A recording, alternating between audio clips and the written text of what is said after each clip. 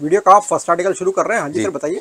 Sir ये पचास पैसे वाले धागे हैं। ये पचास पैसे वाले धागे हैं वही जो आपको हमने शुरू में बताया जो पचास पैसे में लेकर आराम से आप पाँच रुपए में सेल कर सकते हो। मिलेगा कितना सर इसमें? कितना ले सकते हैं? आप एक गुड्स ले जाओ चाहे दो गुड्स ले जाओ। ठीक है ये तो माल बचता ही नहीं जी। ठीक है। लास्ट के दिनों में आप ग्राहक जितना है कहता दे दो उतना। माल बचता ही नहीं है जी ये वाले। ठीक है।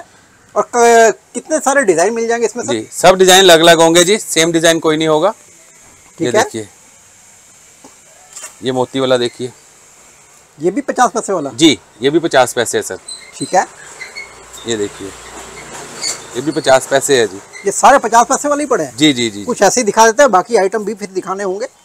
ये देखिए ये सारे पचास पैसे वाले डिज़ाइन है बहुत सारे डिज़ाइन मिल जाएँगे। ये ओम वाला भी पचास पैसे में सर। हाँ जी सर। क्या बात है? पचास पैसे में लेके आराम से आप पाँच रुपये पीस करके बेच सकते हो। बाकी होलसेल करना चाहो तो थोड़ा कम में भी कर सकते हो ज़्यादा बल्क में बेचो ज़्यादा प्रॉफिट मिलेगा आपको और फिर से आओ टिश्यू ट्रेडर